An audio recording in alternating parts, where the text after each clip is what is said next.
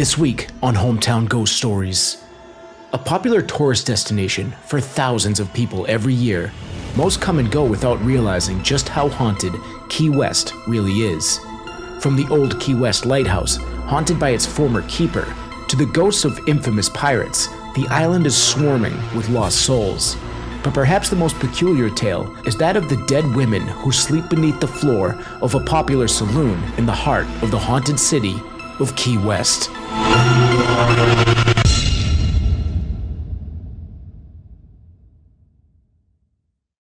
Hometown Ghost Stories contains serious and often distressing events and is not intended for all audiences.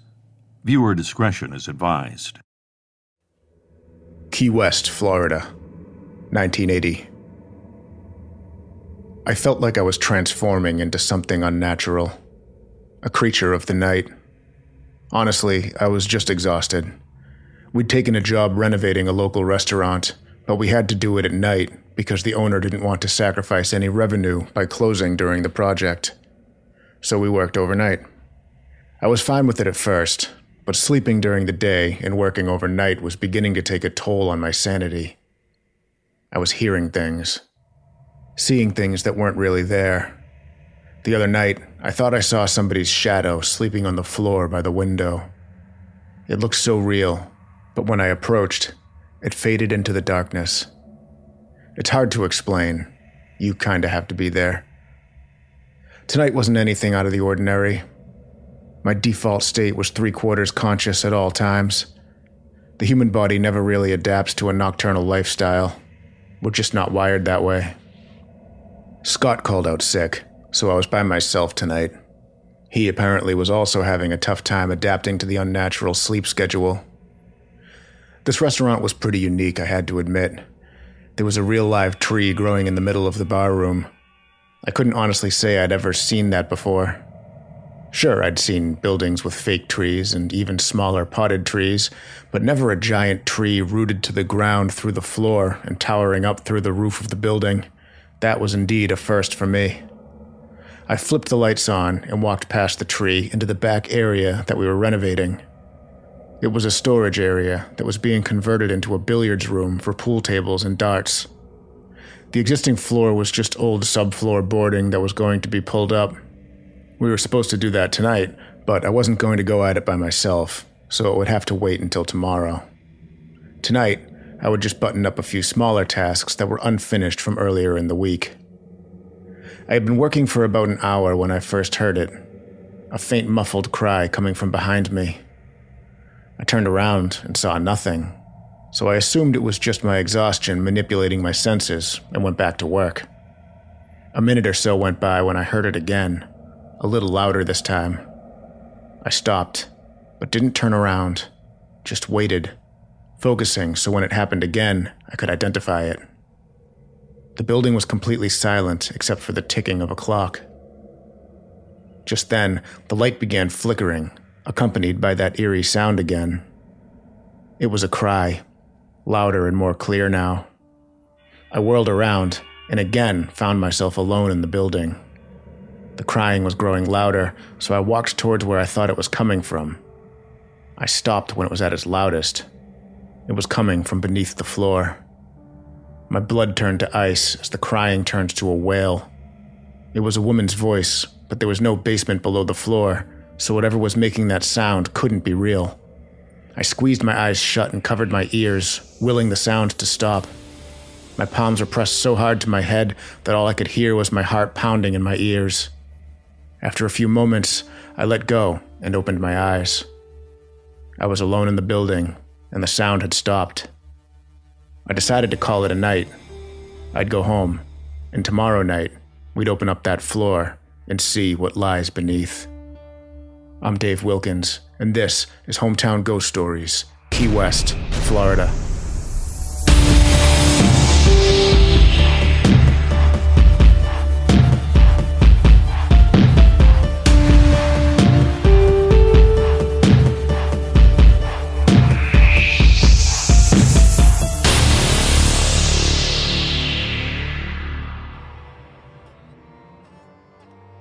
Key West is an island in the Straits of Florida. The island is about four miles long and one mile wide, and is the southernmost city in the contiguous United States. Long before the Florida Keys were explored and colonized by the Spanish, the islands were first home to several tribes of Native Americans. It's believed that the Calusa and the Tequesta tribes occupied the Florida Keys, with the Calusas being the principal tribe as early as 800 AD. Soon, however, Spanish colonizers settled in the Keys, primarily to gather turtles for food and hardwood for building ships. This triggered mistrust between them and the Native Americans the indigenous people continued to occupy the Keys until the 1700s. Along with the 18th century colonization came piracy, which was rampant in these parts during this time period due to dejected naval sailors being lured to the lucrative life of piracy as opposed to naval contracts not being fulfilled. Some of the more infamous pirates who frequented the Keys were those such as Calico Jack Rackham, Anne Bonny, and Blackbeard. See episode 38 for more on them and their history. But one pirate who deserves a special mention is Black Caesar.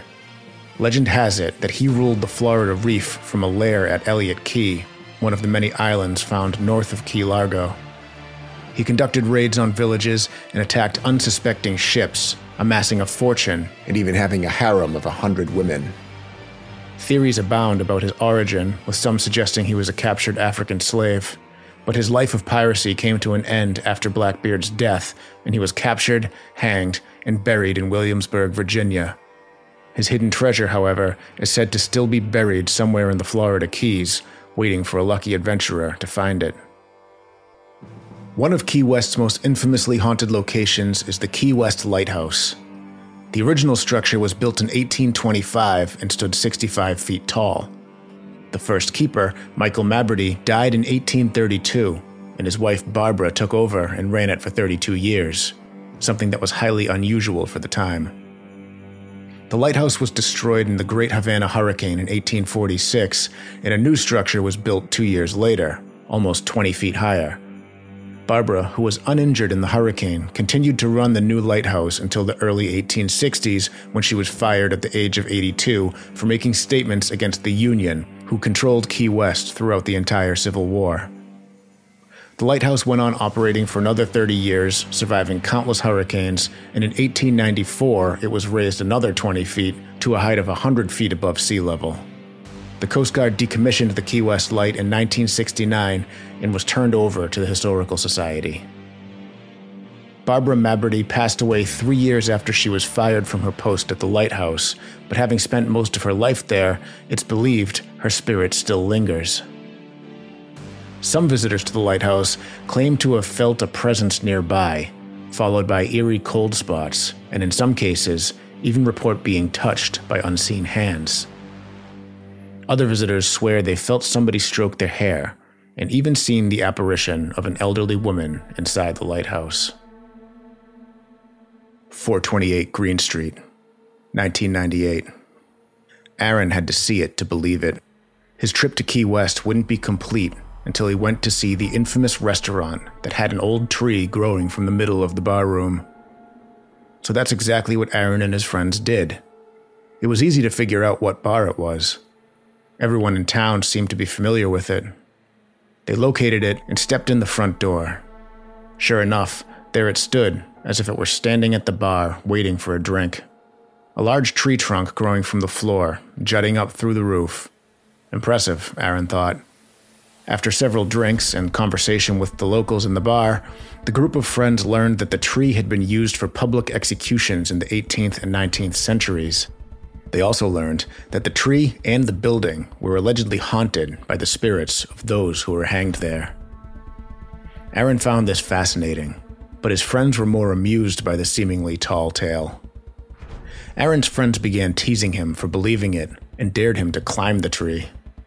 This is something that Aaron wouldn't ever consider, but he was four margaritas deep and was feeling brave. He set his drink down and pushed past his jeering friends and placed both hands on the tree trunk. Immediately, he felt his hands burning, and naturally he recoiled, only he couldn't pull his hands from the tree. He felt the skin on his palms sizzling and he began to scream. His friends thought he was kidding, so they just laughed and teased until they smelled the burning flesh. They immediately grabbed Aaron by the shoulders and tore him from the tree. There were two black handprints on the tree trunk that quickly faded away. Aaron sat on the floor, staring at his blistered hands in disbelief. His friends rushed him to the hospital, where even the doctors were perplexed by the third degree burns on Alex's hands. He was bandaged up and sent on his way. He never stepped foot in that bar again. Key West is home to southern Florida's most notorious saloon, Captain Tony's. Once called Sloppy Joe's, the bar was the favorite hangout of the likes of Ernest Hemingway, Truman Capote, JFK, and Jimmy Buffett. It was built in the 1930s and purchased by Captain Tony Tarracino in 1958, hence the new name. It was a popular spot, but the building always seemed to have a dark history from the very beginning. There are very old trees on the property that were used for public hangings, one of which is actually in the building. There were 75 to 85 people hanged there for murder, piracy, and other crimes. The building was also used as a morgue and then a bordello, a telegraph office, a speakeasy, and a cigar factory. Given its macabre history, it's no surprise that the infamous saloon is known to be haunted. One of the entities that haunt the saloon is a spirit known as the Blue Lady. The legend of the Blue Lady dates back to the Hanging Tree, Said to be one of the people hanged there for her crimes, the story goes that she stabbed her husband and two children to death. The people of Key West wasted no time in condemning her to swing from the hanging tree. Mob rule had her hanged in the same bloody blue dress she was wearing when she killed her family. Ever since, her ghost has been seen throughout the building in her bloody blue dress, scaring patrons and staff. One night after closing, Tony, the bar owner, was with a waitress counting draws when the balmy breeze unexpectedly turned icy. At first, they looked around but didn't see anything. Then, the waitress looked up and screamed.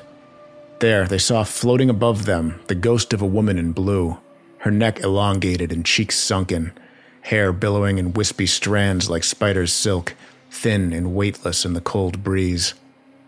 Then, just as quickly as she appeared, she was gone vanished into the night. Another spirit that haunts the saloon is that of a beautiful young woman.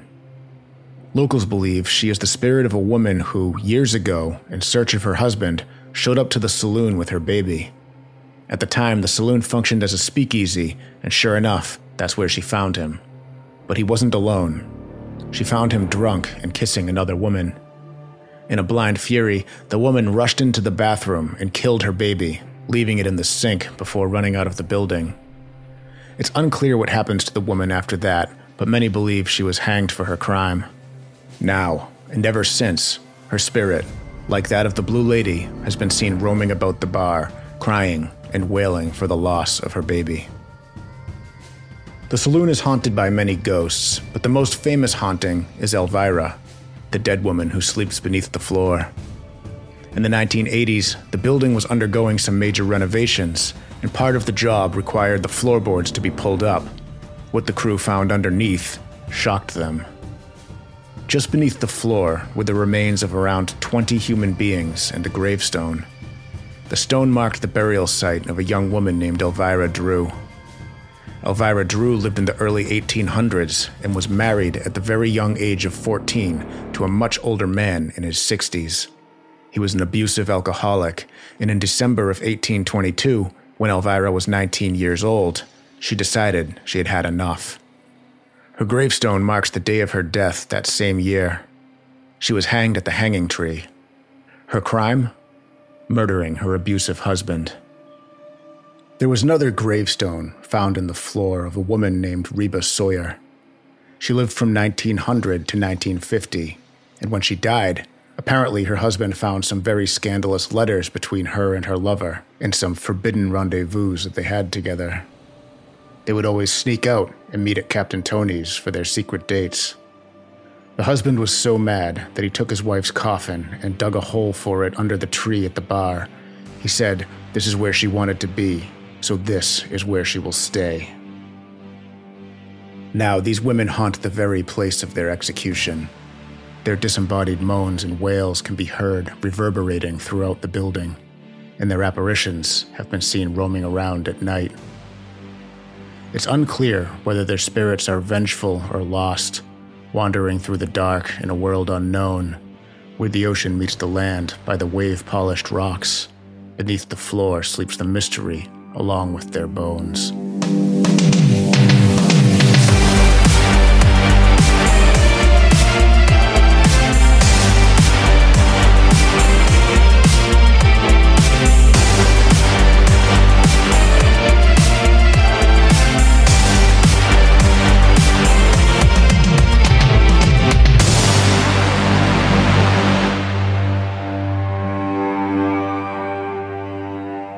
What's up, ladies and gentlemen? Welcome up, welcome into episode number 119. I am Jesse Wilkins. I'm joined by Rob Coakley. Hello, Rob. I'm very torn right now because on one hand, it seems like it's legal to bury somebody under a bar, and that's of course what I would do to Dave. Yes. But on the other hand, that would be the happiest place for him to be buried. So True. I don't know what to do here. Very Give the man what he wants, right? We're also joined by Dave. Hello, Dave. Bury me under that bar right now. That what a cool place. What a cool place. There's a there's a diner like within walking distance of my house that has a tree inside, but it doesn't go through the roof. How do you make the tree go through the roof without having? Structurally, Yeah. I was having- wondering that the entire time I was researching this episode because I've done roofs. I used to be a roofer, and I have no idea. It's so hard to just even flash in like a like a vent. Never mind an actual tree with branches.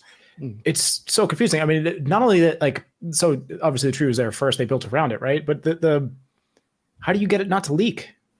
I don't know. Maybe it does leak. Who knows? Maybe, yeah, maybe they just embrace it. I don't know. Open concept. Open concept. Who knows?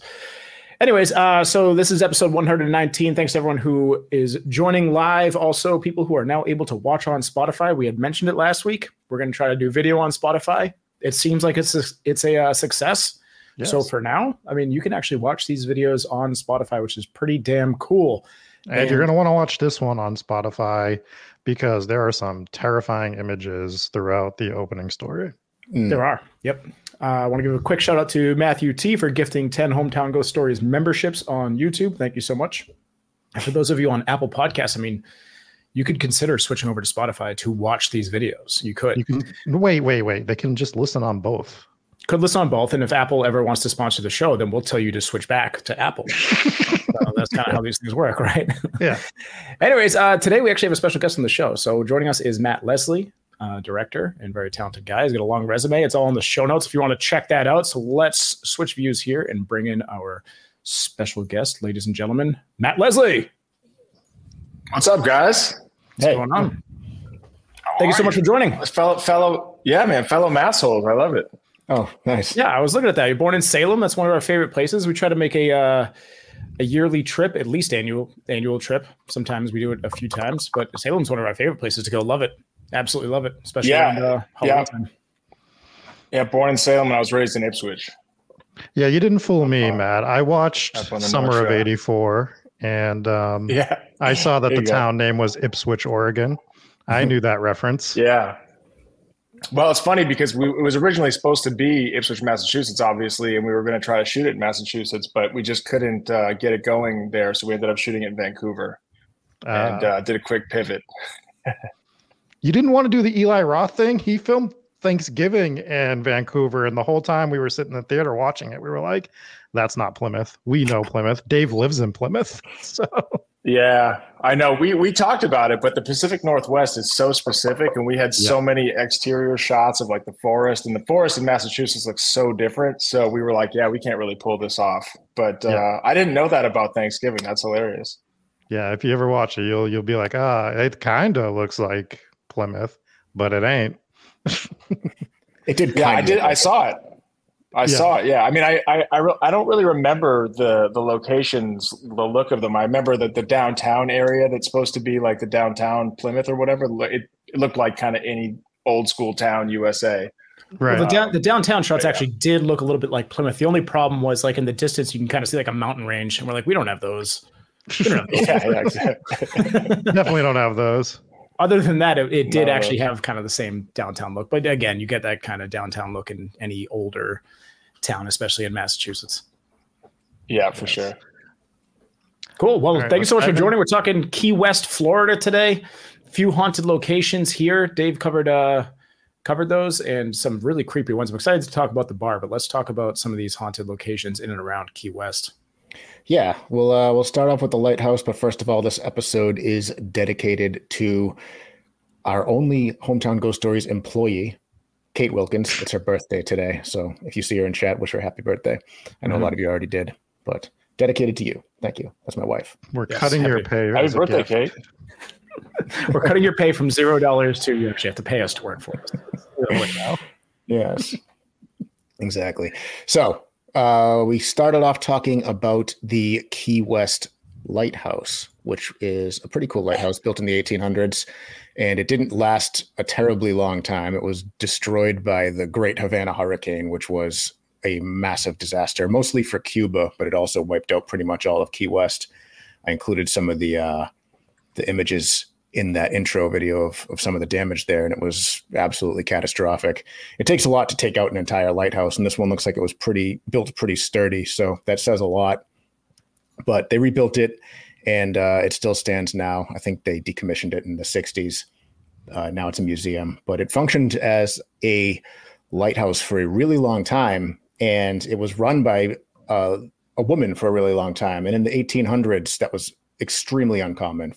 First of all, uncommon for a woman even to have a job in that time, especially um, a job like running a lighthouse, which was typically done by a man. So she had to, she felt like she had to prove herself, and she did a great job for all of the duration that she ran it.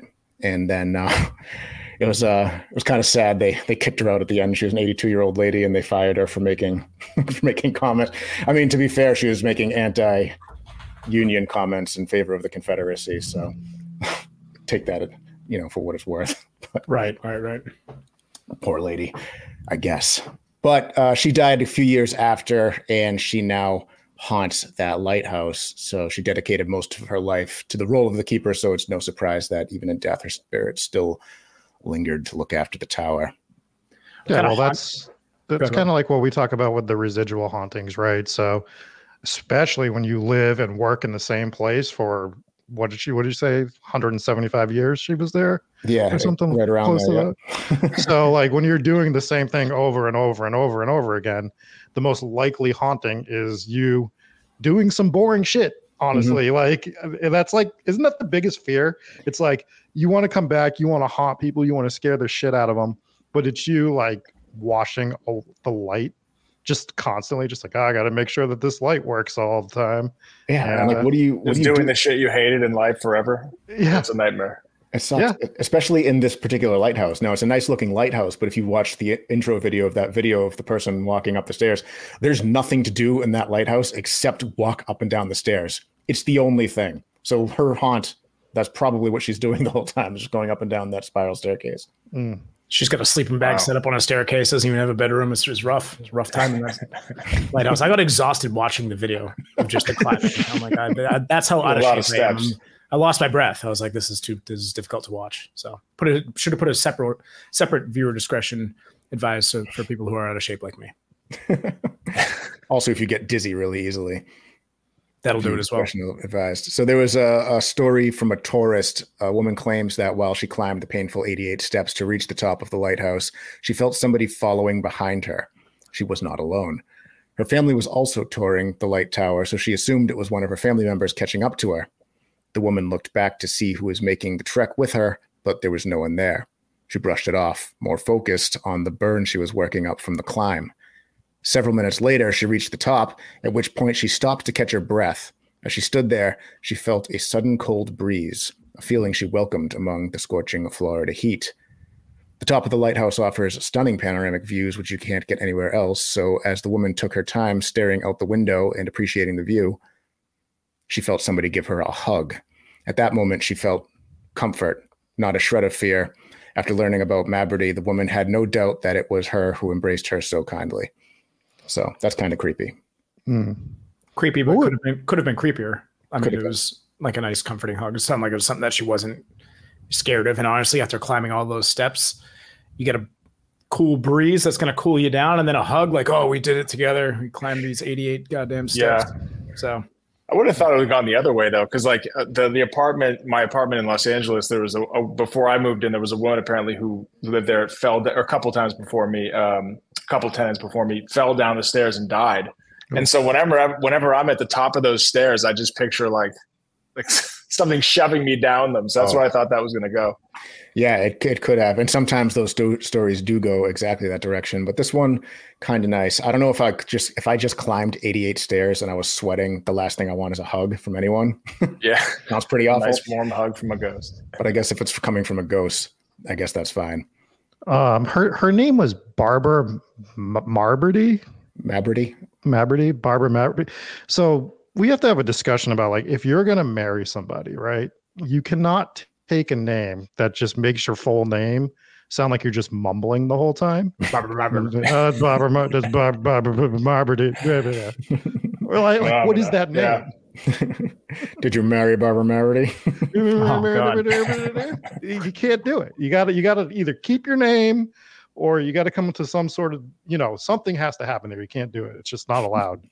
And you can't smoke Marlboro cigarettes either because then I got to go get Barbara Marlboros and Marlboros. it's just ridiculous. You sound like you're having a stroke. yeah.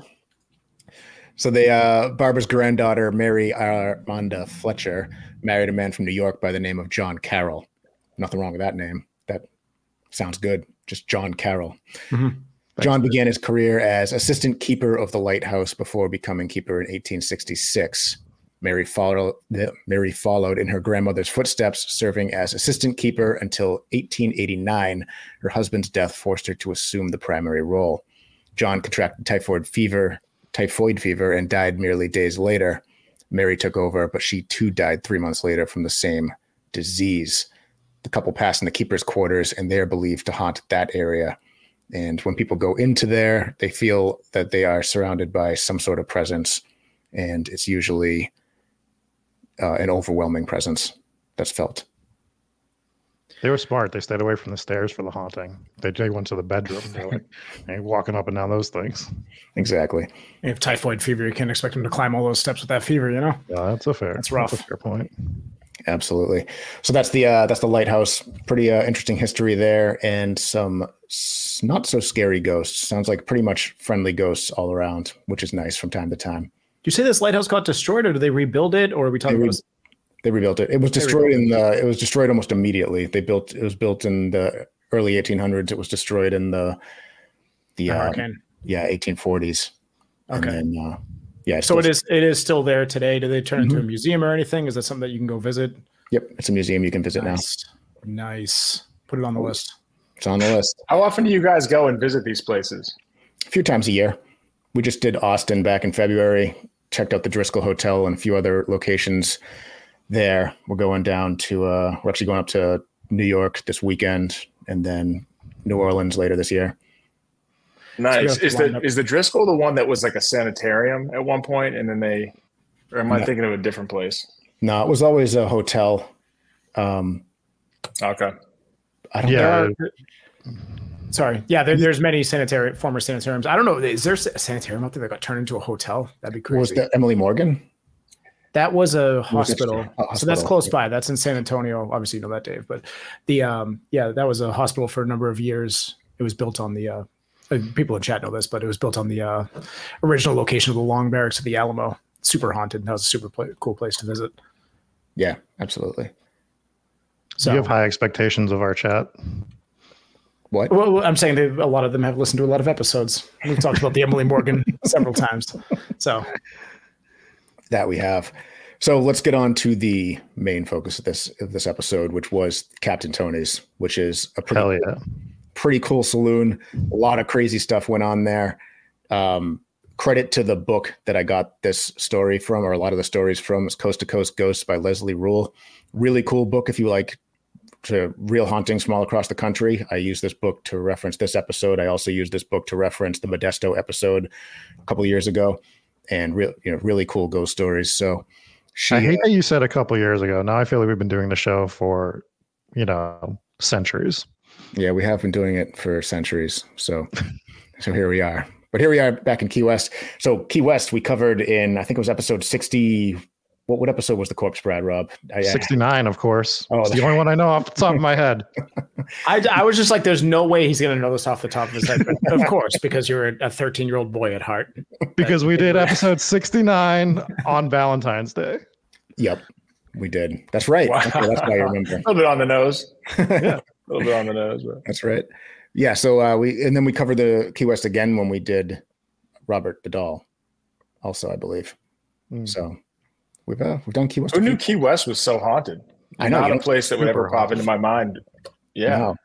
And I only covered two locations. There's several other ones. We uh, there's the Ernest Hemingway house is also a haunted location. I saved that one because we could cover it for Celebrity Ghosts sometime. But but yeah, so Captain Tony's pretty crazy place. The bar was built around an old hanging tree. So this was the tree that they used to use to execute people back in the 17 and 18. What a bizarre choice. Like how does that how when you go back to the like the beginning of this bar, who was like, yeah, let's build this let's build this build this like place of communion and and and joy around a place where everyone was hanged. Yeah, I know. It, it, it, seems like a weird thing to do. I know the building was there before it was a bar. It was a morgue at some point. It was uh, speakeasy. Even worse. yeah, that doesn't that doesn't help with the haunted situation. I'm just baffled that like yeah. they're picking out their plot of land. Like, oh, we'll buy this. All right, we're gonna build a morgue or whatever it was first. And they're like, well, we got that giant tree. Like, yeah, I'm just gonna keep it. yeah, because it all it. makes sense. If you build the morgue around the tree, you don't actually have to store them anywhere. You just leave them hanging on the tree, right? You just do all your work in, right there. Yeah, they're already in the building. What else do you have to do? I know. Well, they. Uh, I, I'm guessing it had something to do with it being such a historical landmark that they probably didn't. They weren't either weren't allowed to t- take the tree down, or yeah, but not a good one. I mean, yeah. it's you, comes for executions. Yeah, gotta keep that. Yeah. um, but yeah, so either way, the tree's there. It has a super dark history, and they they they they executed several people there. I think the number was like 85 or so. So there could be as many spirits as 85 haunting this place, but we got at least four that we know of based on the gravestones and local legend. So the first one was Elvira, and she was the 14 year old who was married off to some old abusive piece of shit in his 50s or 60s, which already is a horrible situation Mm. And she put up with him for five years before finally saying enough is enough. And she decides to murder him, which, fine, fair enough, right? Yeah, I'm on her side on this one. Yeah, same. But uh, no, unfortunately, nobody else was. So they they hanged her at the tree, and she is the the most famous haunt of that location. But she's not alone. That's the blue woman. No, no, the blue lady is someone else. We don't have a name for her. She was the one the blue lady was the one who stabbed her husband and two children and she was basically executed the same day because people were so appalled by uh. by that understandably so. And so according to townspeople at the time her official diagnosis was this is quote she had a case of the ugly wugglies. That was uh, the, of course. Bar- barbara Mar- Mar- probably diagnosed there Yes. When my, when my kids ask what is wrong with Rob in his face, I tell them, well, he's got a case of the ugly wugglies. they understand. Yeah, and uh, so that so you can't just go around with the ugly wugglies. If you do that, they will hang you. And that they, she was the one that was described. Wait, wait, wait. Could, I'm sorry. Did you explain what this case is? Is it just an ugly person? So they what is the no, case of the ugly? I don't think I don't think they mean that she was ugly. It's they said that she had a case of the ugly wugglies, to describe her going completely insane and murdering her whole family. Is so that in I, the Constitution? not it should be. Bill of Rights, yeah, for sure. okay, so the so the ugly wugglies are what caused her to do this heinous crime. I, th- I thought this was like also a condition that they thought she had. I'm like, please explain what ugly wugglies are. Right. I think no. that's actively what we're looking at. Ugly wugglies. Yeah, see if we can uh, see if we can get uh see if we can get some answers on what exactly the ugly wugglies were. It sounds like a it sounds like a band name of a band that I wouldn't want to listen to. oh, you definitely don't want to hear that band. Yeah, like like you're at a bar, you're having a good time, you're talking to friends, yeah. and they're like, "All right," and then all of a sudden you hear on the microphone like, "All right, we're gonna have some live music." It's the Ugly Wugglies, and we're like, "We're finding a new band." Oh my god, it's just death. It's just death metal Teletubby songs. But but the just, acoustic version because you're at a bar. Oh, yeah. God. Oh my god, I hate it. out of there. But she was the, yeah, the ghost popping up. Shockingly, oh, I'm shocked. color me, color me shocked. Good thing. Maybe there's uh, there's so there's just so few cases of the ugly wugglies these days. I, I feel. But she was the ghost that was described as the one in the blue dress covered in blood and with the elongated neck and sunken cheeks. Creepy stuff. Doesn't sound like a pleasant sight to see. This was the ghost that came to Tony and uh, appeared when they were closing up one night. And they said they'd see her from time yeah, that that image of like people under the floorboards and you're supposed to pull those floorboards up yeah. terrifying. That's like such a great scene for a horror movie. Yeah. Oh, good. Might yeah. snag that. it's all yours. We'll talk after. yeah. Yeah. I feel like I feel like just adding the word what was it, ugly wugglies or whatever, like like it, it really diminishes how horrifying of a story this actually is. Goes yeah, in the bathroom, yeah. kills the baby. Like this is an awful this is an awful story from start to finish. This is this is horrifying. Those are two different stories now. That was a lot of a lot of horrible things went on in this bar, apparently so the the ghost of the beautiful young woman, which is not what I named her, that's just what they call her. That's the one who murdered her baby in the bathroom. She, Apparently, it's not what you typed into AI either, because you generated these horrifying images of this old woman with a long neck and sunken in eyes. Different ghost. You're, oh, you're that just, was you're conflating so many ghosts. We have we have yeah. different definitions of beauty. I'm saying that's the beautiful one. In the eye of the beholder, some would say. It's so bizarre that there's so many female husband murdering ghosts in this bar. Like they're that they're all blending together. I can't separate them anymore. They all just are like. I know it's kind of it's kind of wild that there's. It is because there's there's they're all different. They're all different cases, but they're all somewhat similar yeah. in one way or another. But uh, and yeah, Key West seems to have level one thinking of naming their ghost. It's like, oh, that's the big beautiful ghost over there. That's the ghost yeah. in blue. blue creative, ghost, yeah, pretty ghost. Ugly. By the way, did you say that JFK hung out at that bar? Yeah, they had a whole bunch of famous people. They had JFK, they had Truman Capote. There was Ernest Hemingway, which makes sense because he lived. down That's crazy. Yeah, this was a popular spot. Yeah. Well, Tony Tarracino, wow. who was the owner, was a popular guy. He ran for mayor, he won, and he would just, while he was mayor, he would just be known for hanging out at the bar, drinking and hitting on women, and everyone loved him, which is real, it's real mayor mayor behavior there. yeah, yeah. He, pulled it, he pulled it off. Oh, I wonder, like, how common knowledge was all this shit for people who are just like the average guy that pulls up a chair at the bar and grabs a beer. Like, does is are they aware of all this shit that's going that's happened there, or is it just sort of like been unearthed in the years since? Because like I wouldn't want to hang out at like a like go hang out at a bar and listen to music, like a place where there's a murder tree, like a hanging tree with 80 people at the foot of it. Like that's insane. Yeah, it does sound insane. Um, I would like that. Yeah, but, yeah, I'm I'm in. But I'm we have, we have different goals in mind for different reasons. for different reasons. Yeah, for different reasons. Right. Uh, I'm going to say they they they got to have an idea because the tree is there. There's literally a gravestone at the foot of the tree, and then another gravestone off to the side. So.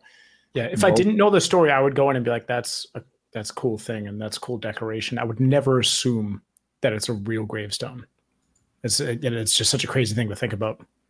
It is, and that gravestone that sits at the foot of that tree is Reba Sawyer. So that was the lady who she died in 1950, and her husband, when he was going through her things, found like before she was even buried, found love letters between her and her her, her secret lover, and found out that they used to just rendezvous at at Captain Tony's all the time when they would sneak off for their secret dates and he lost his mind. And he, the story goes, and if, so at face value, I thought this was complete nonsense because it makes no sense. It's an insane story.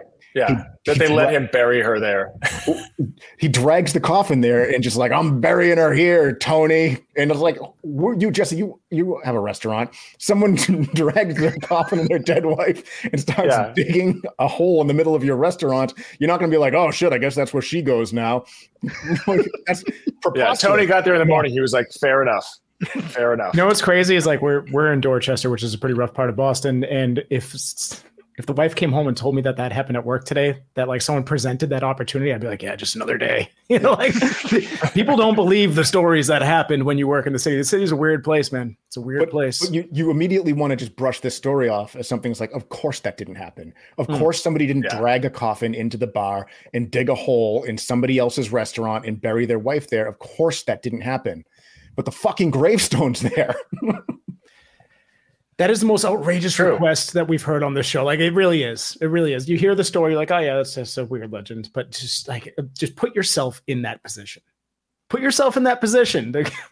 I'm burying her here. Like, what? No, you're fucking not. Go away and bring her where she's supposed to go. I guess it was a morgue before. It's not the. crazy. And why does this keep happening and, in Key West?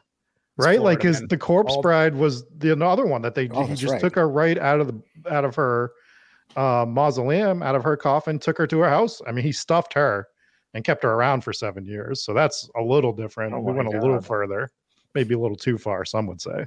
Some allegedly. Would say. Some would say. Papa Squatch but, brings up the weirdest point, which I don't know if is true or which might be crazy enough where it might be might actually be accurate. He says the Ugly Wuglies were cured in 1832. there was a small outbreak in 1892 in Fall River, Massachusetts how specific that is makes me nothing good happened. True. nothing good happened yeah. Fall River. Nothing good has happened in Fall River Fall since River. 1892 when they had the Ugly Wuglies outbreak. mm. The fact that this that this one we're talking about was buried in 1950 was more jarring because it just feels so yeah. close. Like we started this show in 1950 right? so like that's how it sounds too recent to do something that outrageous and them agree to it, right? Yeah. If this was like this dude the, Tony already owned the bar. Exactly. Like, like if this was the early like I'm running for mayor in five years. All right, before I run for mayor, we got to bury this body. That is, yeah. like if this was, was like on his campaign. Yeah. He's he's like he's like um not only will I be the best mayor ever, but you can bury your wife at my bar when she dies. and that's why make sure she's dead first. Yeah or don't. Yeah, they'll store the body. Somehow hey, hey, the- hey, the Kennedys like the bar for a reason, right? Somewhere to store the bodies. oh my God, Ted Kennedy went there often, right after Chappaquiddick. oh my! Had to God. take a quick detour with the car, get a rental, and then head down to Florida. Yeah. Yep. Yikes! Oh my God. So, uh, moving on.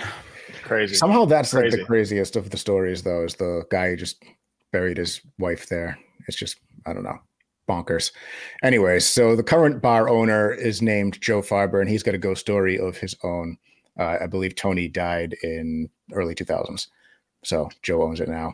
So he never considered what's that? In honor of it, this show being dedicated to Kate this week.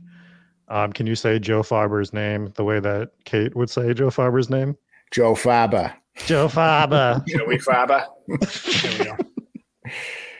So he never considered himself to be open to ghost stories or experiences of the sort. It's funny how many ghost stories start off. People have to qualify that they I didn't believe in ghosts until. Yeah. But he says that after a few experiences in the bar, he may now be a believer in the paranormal. One night, he was closing up and it was around 4 a.m. He heard somebody calling his name. He got up from what he was doing and saw nobody there. He walked back, but noticed some doors were open that had closed and locked hours before. He didn't blame any of this on ghost, uh, ghostly activity because it didn't happen to him again until a few years later. The same voice was calling to him, and this time it said, Don't leave, Joe.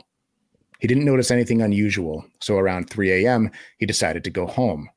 Around 6 a.m., Joe got a call from the police and said they and they said they found a body in front of the bar. A young girl called her mom from the bar and had overdosed on pills to commit suicide. According to the police, she died there around 3:30 a.m.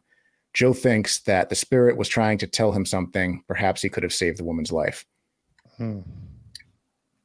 So that's weird with hmm. the voice calling him, calling his name, and trying to. He thinks that it was somebody trying to alert him of what was going on outside. Unfortunately, he didn't listen to the ghost. Oh, yeah. Uh, the ghost had to be a fun pissed off. Yeah, that'd be a fun procedural show uh, for for like NBC. It's like ghosts who are dead helping living people solve crimes. But the living people not paying attention until it's. But then they're like, yeah, yeah, exactly. Damn it.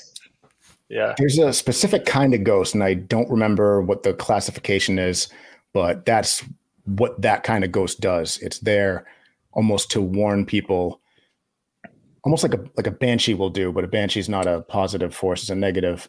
But there are positive versions of banshees that will they'll basically give you a foreboding message. I think it's called a nosio. No, it's if, if you get the ugly wugglies during life, you, you, become a spookly wookly in death. this is why people watch the show. We are experts. yeah. yes. Yeah.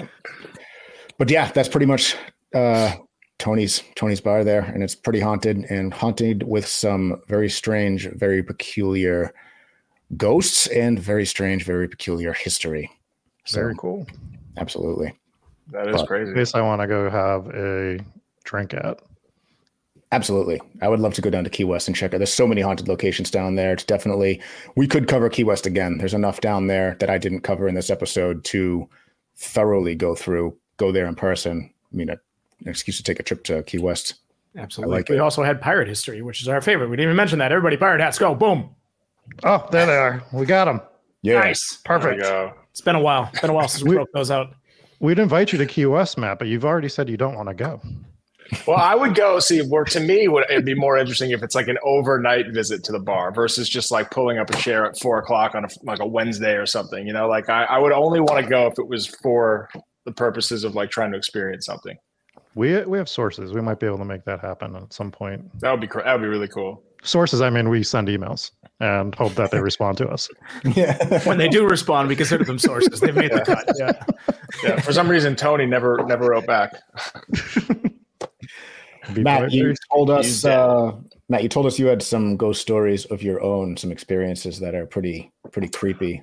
Hoping you well, when I was like reflecting back on things that I could share that I, I guess are like I've never experienced anything personally that's like in like super for sure paranormal where I'm like that was a ghost no question about it. But there are a few different things that have happened that are paranormal I guess that I figured I could just like tell you guys these quick stories and and see what you think. Because my my barometer like i have a lot of different like my wife has some friends who were like oh i've seen ghosts and they were like I, you know we're sensitives and whatever and we can and i'm i'm like well you know i don't know that sounds a little bit fishy.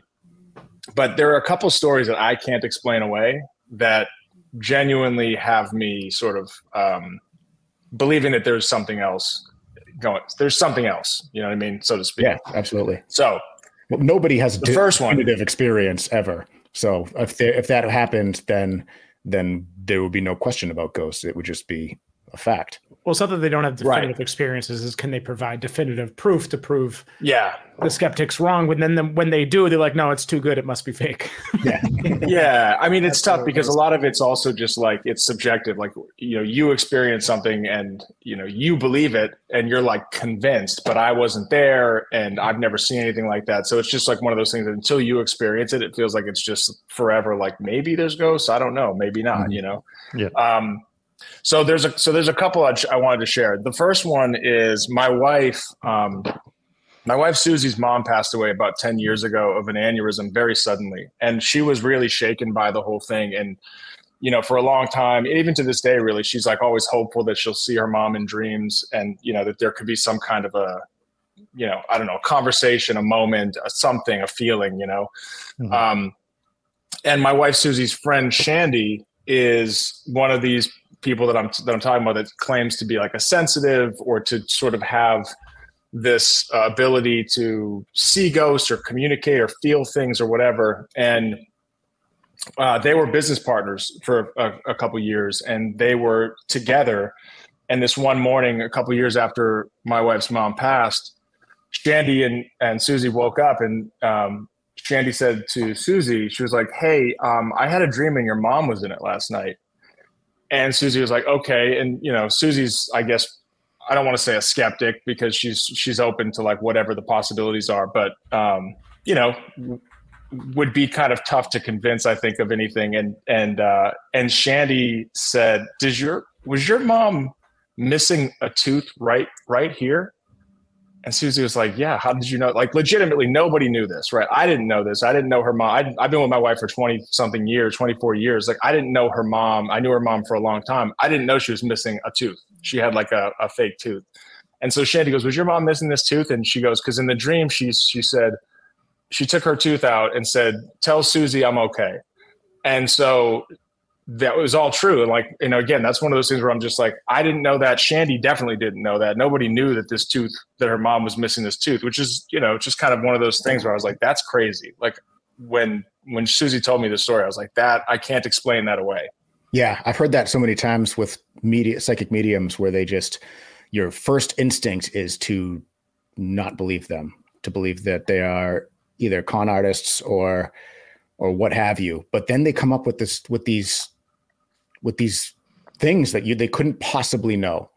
Yeah. And I, I know like when they do those big shows where there's like a whole room full of people, they're yeah, they they're calling out these these uh these pre- premonitions or predictions or whatever and you know you're going to hit on some something but when it's something that specific to like, Yeah. like you said like about a single person's uh one specific detail about a single person right there to their face not in a room full of people that's how do you explain Yeah. it that's like the lucky yeah, and we'd known time. Shandy for for 15 years. It's not like you know, like we you know we know that she's not just gonna like say something like that, just make it up. Um, Right. So it was just that was one of those ones where I'm probably the the most uh, strange story that I We can't also- really explain.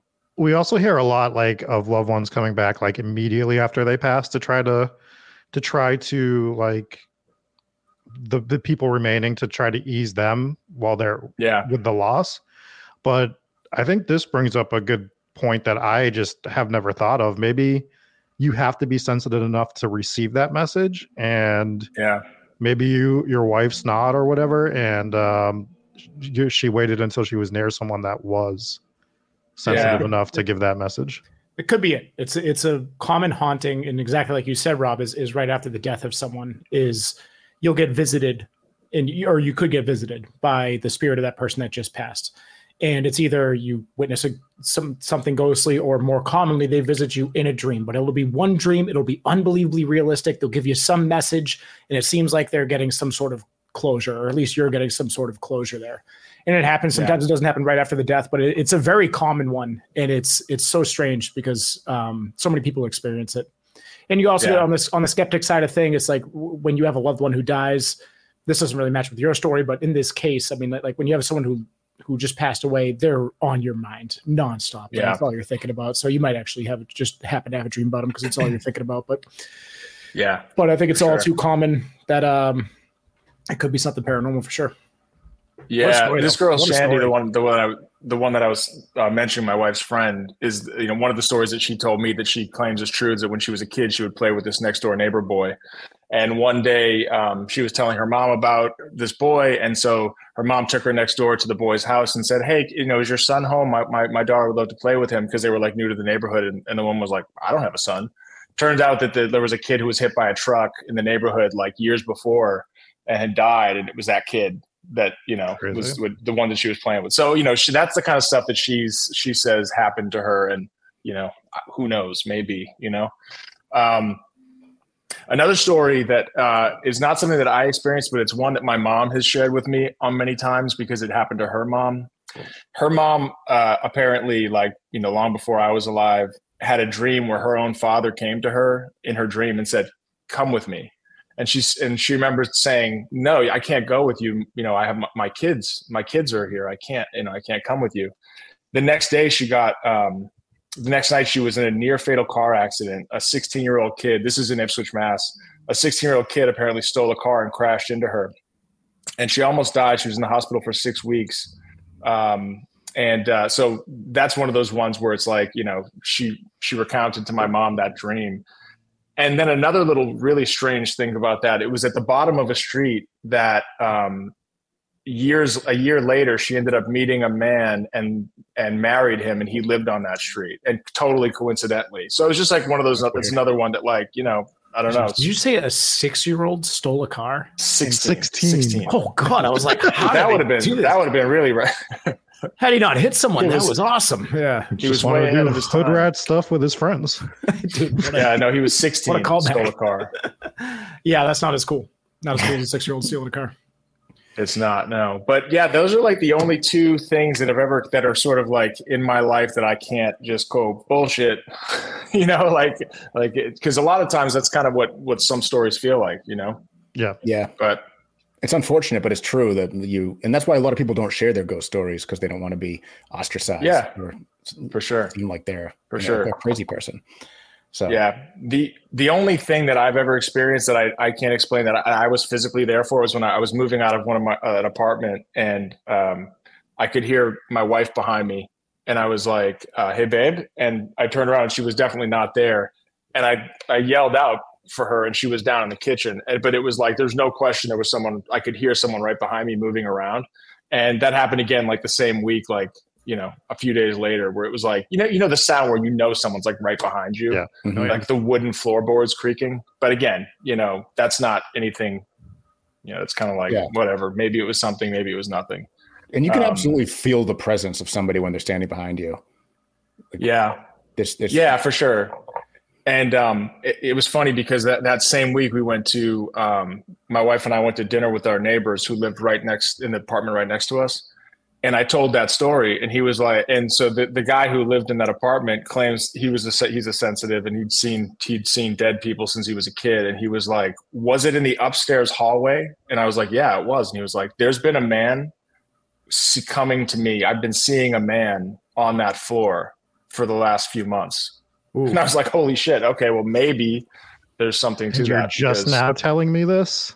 yeah, yeah, Think exactly. letting me that. Thanks for the heads up. Could have let me know months ago, maybe. Yeah, Yeah. it's pretty terrifying. Yeah, those, are- those are But um those are some. That's all I good- got. Yeah, no, those are good hauntings. That's mean, all I got. I mean, they are uh, some of the ones that the good thing about some of those hauntings are stories you hear from lots of people. So that's what, you know, we always talk about. You want to see the same thing or hear about the same stuff going on over and over Yeah. with other different people having the same experience. So it, it just like always brings me to believing more, you know, when we start hearing Yeah. those.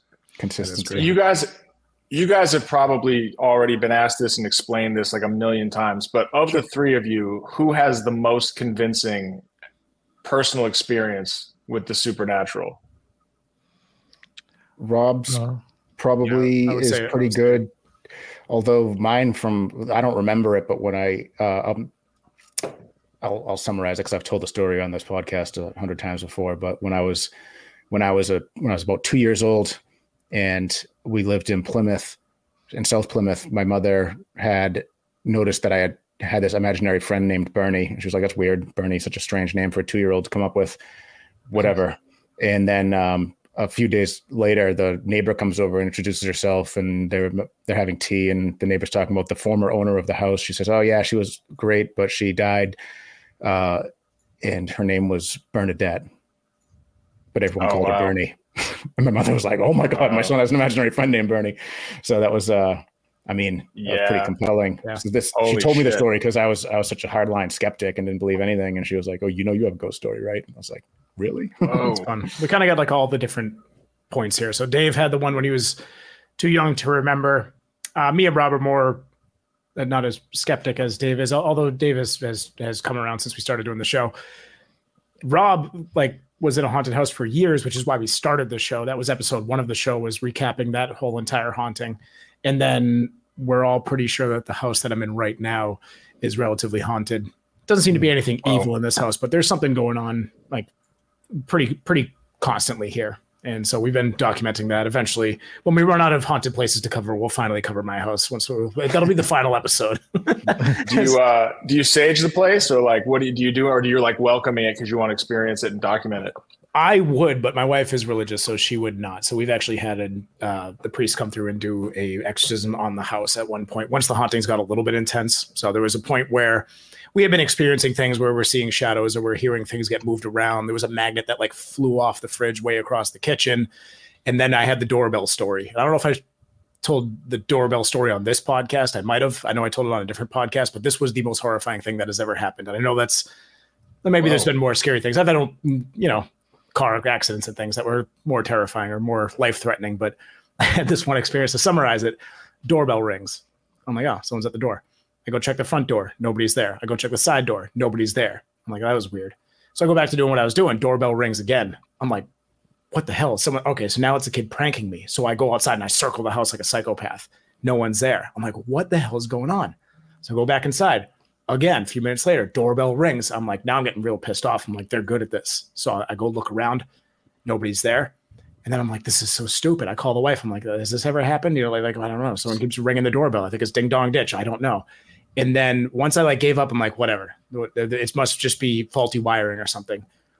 The doorbell starts going bing, bing, bing, bing, bing, bing, bing, bing, bing, bing, bing. and like, dude, my heart was in my throat. I was like, I was, I've never been more scared in my life. I'm like, what? It was like, dude, it was like the ghost is like, yeah, I'm here, you piece of shit. Like, wow. never experienced it. It never happened again. The doorbell still works fine. It wasn't like shorting out or something like that. It, I've, yeah, it was the most terrifying thing. That's, that's crazy. Happened. Yeah, but then the that's the, so crazy. Briefly after that, I I heard um I was I was sleeping in or whatever, and I hear commotion downstairs. I'm like, oh okay, whatever. The the mother in law had stopped by, so I hear her in the house, and I hear the kids coming up the stairs, and then I feel Uh, what I thought was the wife like grab my shoulder and like drive her thumb into my shoulder blade. I'm like, all right, all right, I'm up. Like, what the hell? And no one's there. And I was like, oh, that was weird. And I said that out loud. And it was my wife coming up the stairs, and she's like, what was weird? I'm like, swear to God, you just grabbed my shoulder and drove your thumb into my shoulder blade. She's like, I didn't touch you. And she, like, she went downstairs and called her the priest with her mother right there. They're Greek Orthodox, Whoa. so it was a big thing. Yeah. So that was kind of the haunted. Dude, the Greek Orthodox thing. So that's fascinating. I'm, I, there's a project that I'm a part of um, right now, and um, there's a there's a Greek Orthodox priest whose stories are the the center of it. This guy named Father Maximus McIntyre, and he's a Massachusetts. He's actually a Massachusetts um, Greek Orthodox priest, and he he was with um, he came up doing like some like uh, paranormal investigating with Ed and Lorraine Warren before becoming a Greek Greek Orthodox uh, priest.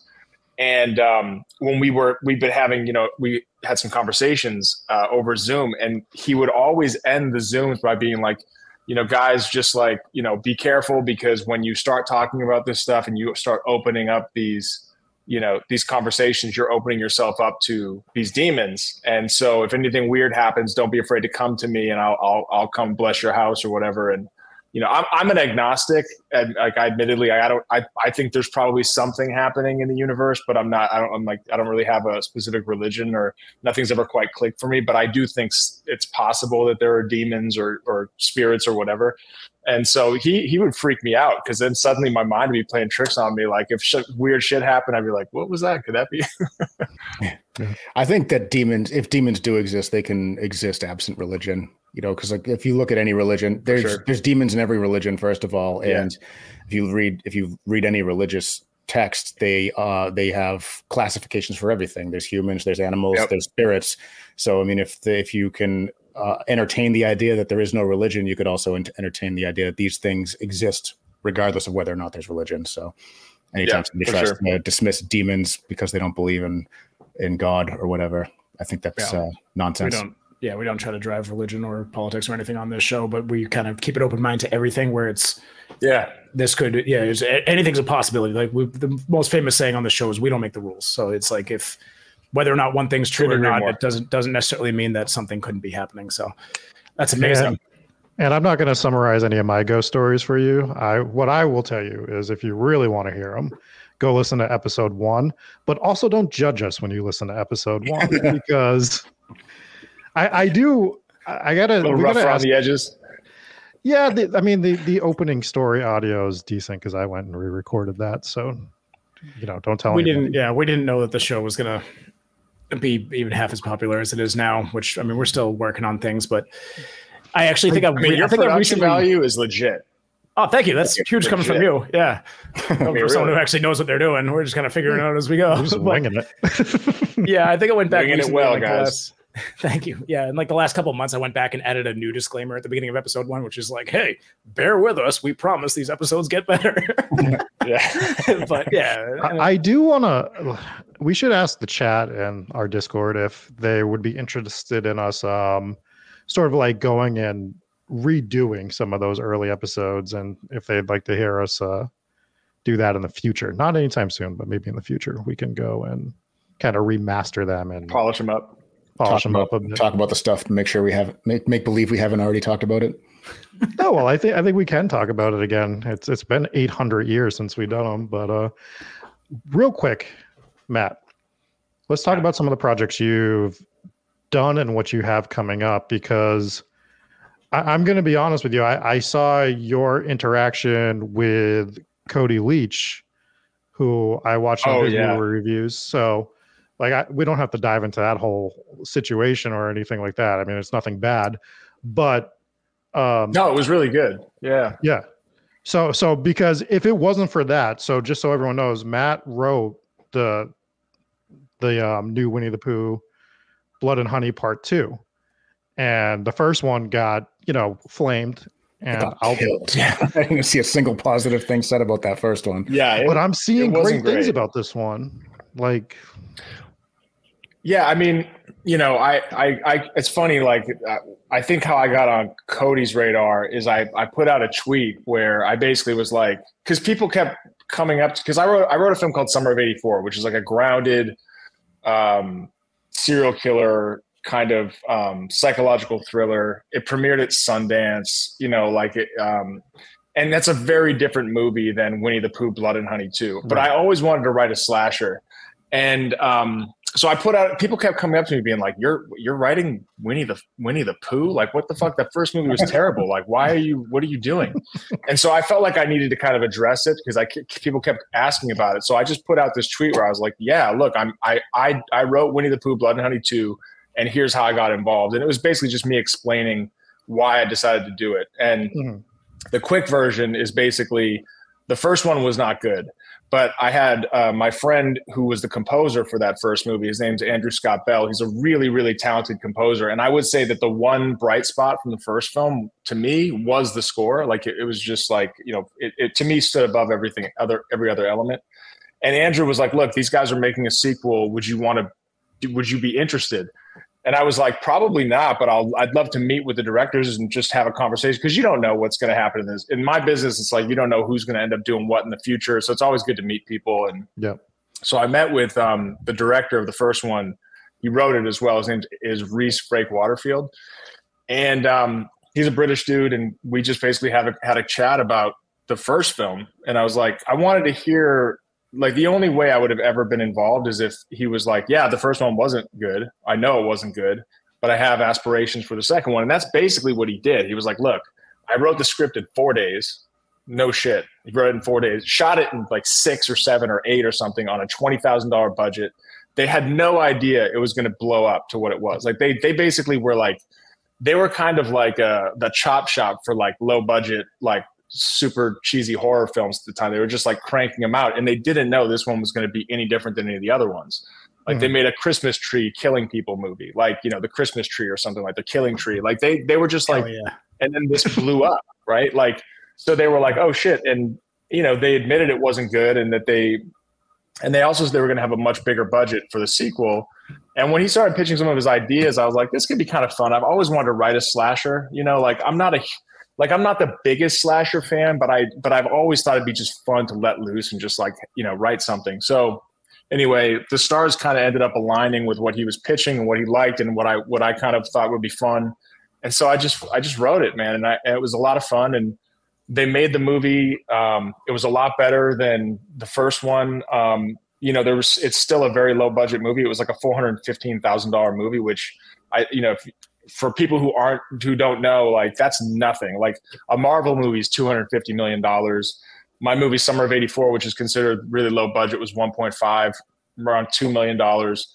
Um, so four hundred fifteen thousand dollars is like nothing. Um, and they still they they they did a really good job. Um, and I think it turned out fun, you know. So uh, it was like a mission accomplished. Uh, it's it's opening in Mexico on Thursday.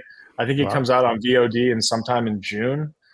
Um, that's still kind of to be determined. But yeah, I think you know if you if you can get past the premise of the Pooh and fucking Tigger and Owl and Piglet killing people, then you'll have fun. I mean, it's just a fun, goofy movie.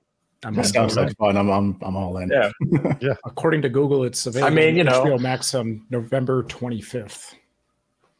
Oh, I don't think that's accurate. Yeah. Um, but Google Thanks, said Google. Yeah, Google. well, then maybe it is right. No, just, um, it's funny. Like, I, like I told my little brother about this, and he's like, "I'm just gonna get high as fuck, and I'm gonna watch that. It's gonna be awesome." And that's kind of like, that's kind of what it. You know, it's just like it's it's yeah. ridiculous, but it's a lot of fun. Well, we'll make sure to review it and we'll just talk about how terrible the writing was the whole time. Yeah. Very sweet of you guys. We'd love to have you back on. Yeah. then I'll invite you to that bar in Key West and I might have a knife. Uh, or a rope. yeah. Or, yeah, seriously. Uh, you could just grab one of Rob's history. bras that were hanging from the roof and just use that. that'll work. That'll do the trick. You, do you have anything else coming up that you want to hit on real quick before we get into some reviews? Um, I'm not really like I, I wrote and directed a film uh, a couple years ago that's supposed to come out later this year. COVID awesome. kind of like you know um, kept it from coming out sooner, but it's called Don't Open the Door. It stars um, Shiloh Fernandez, who was in Evil Dead in 2011, and then um, Alexis Knapp from the Pitch Perfect series, and Doug Jones from you know uh, uh, Guillermo del Toro fame. He was like the fish yeah. man. He's basically the guy who's in every, you know, behind every costume in every m- movie that kind of matters. And, uh, but he doesn't have a costume on in, in our movie. And um, it's a fun supernatural horror film. Awesome. Yeah, it'll be fun. Awesome. I, I look forward to that one as well. Um, and directing it. So I definitely will catch that. Um, it was, like, yeah, I know the director. I know him. Yeah, it was my first, my first, my directing debut. So hopefully it's the first of many to come, but we'll see. Very, very cool. All right, we're gonna jump. I usually we would, would let the guest leave, Matt, but I think you're gonna want to stick around because we let our okay patrons pick their names, and I have a feeling this episode some of our people are gonna have some good patron names. So, real quick, let's jump into some five star reviews first.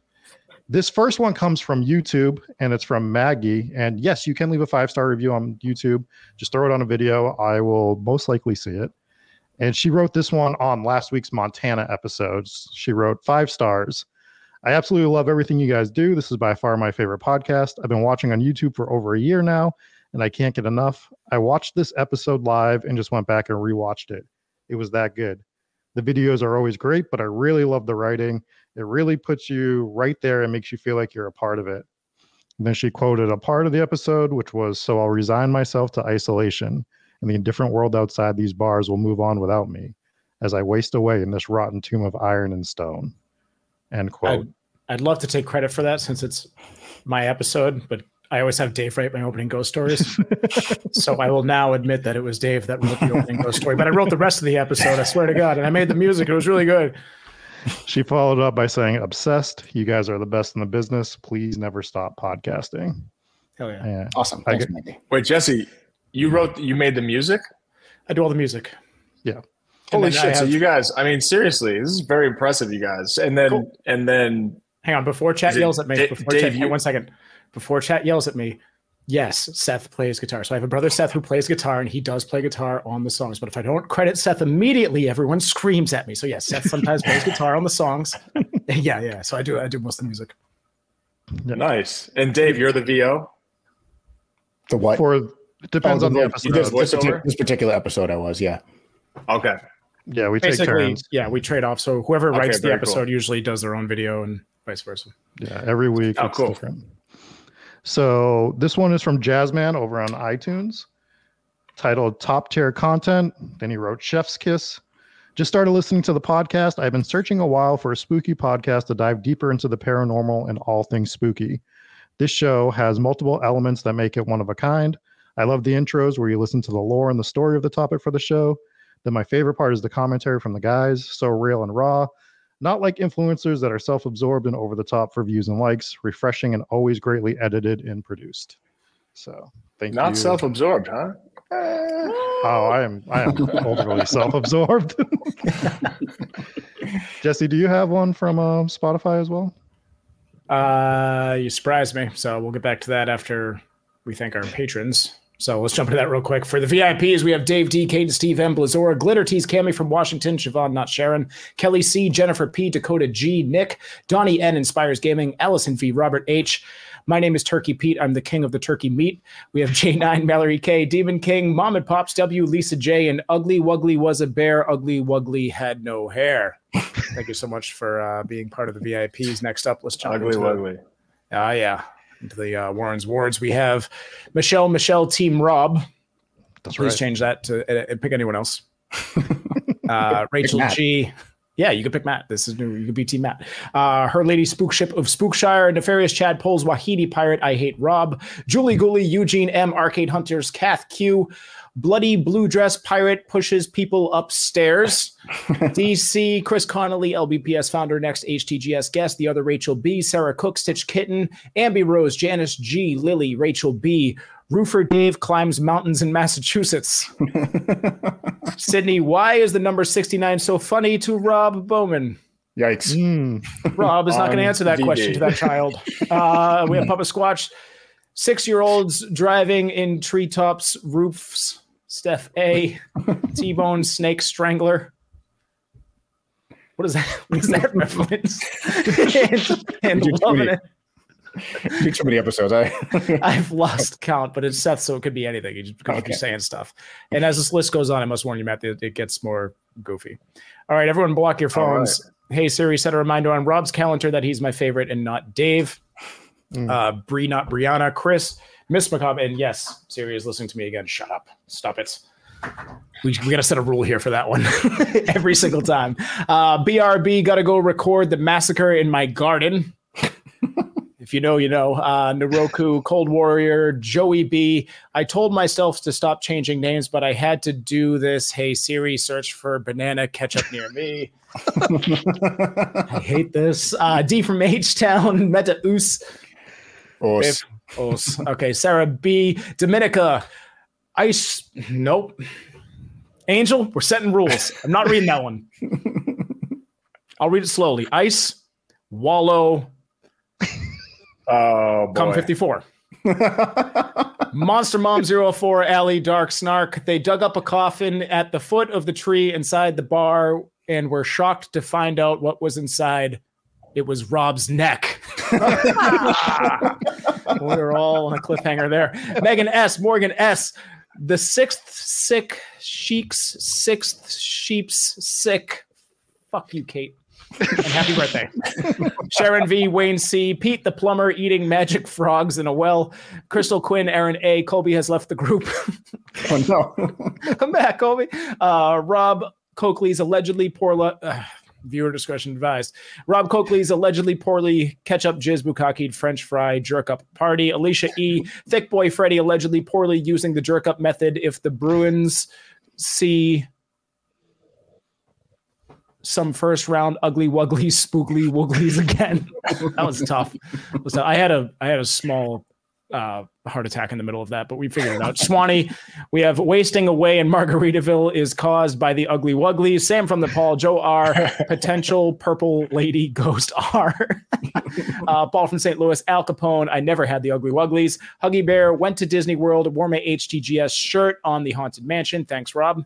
Love Thank you, uh, Brennan B. Solar Flare, Mariah M, Kiralee J, Anthony Spiritually, I identify as Rachel BT. Add him to the list. Cody G, Brandon W, his hoop ship, her soph ship, and Captain McSlugly Wugglies gives Hugly Wugglies to Bugly Wugglies on the Rugly Wugly. oh God, I, I think I aged three Slug- years reading that list. I knew it was going to be a tough one. I knew there was going to be a Yep. lot of um, wuggly stuff going on in of this Hugly one. Going on there. Yes. please stop setting Siri reminders and um, Angel. What the hell, man? Why'd you make me say that? Didn't like saying that one bit. It's not true. All right, moving on. I have the Spotify comments real quick. Okay, go ahead. So this one's from Matthew. Um, just said, super surprised to see the video on Spotify, but really excited. It makes listening during work a bit more fun. And Miss Wolf said she was watching on Spotify. Happy Wednesday. So very cool now that you can watch this on Spotify. And Oh, yeah. um, Give us feedback on. Spotify. yeah, give us feedback on Spotify. And real quick, if you are a Patreon member, you get your side content early. This Friday's episode, we do something that's dropping early for Friday. We do something different with this one. We talk about Mel's Hole, but Jesse and Dave had no idea what we were talking about going into it. So they had to live react as I told them the story of Mel's Hole. And I thought it came out pretty funny. So make sure you go check that one if you're on Patreon. You guys will get it next week if you're not on Patreon. Hell and yeah. thanks to Regina for sending that story into us. Sounds cool. good. Once again, you can follow Matt Leslie on Twitter and Instagram. His socials are in the show notes as well as a quick bio if you want to look up some of the work that he's done. Matt, thank you so much for coming on. You've been an absolute delight. We appreciate you. Guys, this is a blast. Thank you. Thanks for having me on. Yeah. Hell yeah. And uh, absolutely. Thanks everyone who uh, swung by and listened this Sunday. Have we announced what we're doing yet? Um, I, we can announce it. We're going to be at the haunted Hinsdale House in New York doing an investigation. So we plan to do maybe an hour live. This is all pending working internet from there because this is Hinsdale, New York, which I think is literally the middle of nowhere. I think there's about four people within a 50 mile radius. We might not have internet, so we'll see what happens. But if not, we will be dropping a Hinsdale episode in the future. We're going to be doing a full investigation, and I'm really excited about it yeah, should be a lot of fun. So we'll be in New York for that. And like Rob said, if all things go well, we will live stream it. And for Patreon members, we're going to do uh, a little bit of a longer live stream for you guys. So make sure you guys tune in on Sunday if it's available. But we'll keep everybody posted. So just keep up to date on the socials and we'll let people know if it's possible to live stream from there. If not, you will get footage and an episode, anyways. So that will pretty much do it. Thank you guys so much for tuning in. Thanks again to Matt. Make sure you go check out his work and, um, check out the, the second edition of the Winnie the Pooh movie, which uh, may or may not be on HBO Max in November. Maybe somewhere else before then, but who knows? It'll be somewhere, yeah. Yeah, hell yeah. All right. Thank you guys so much for tuning in, and we will catch you next time. See you.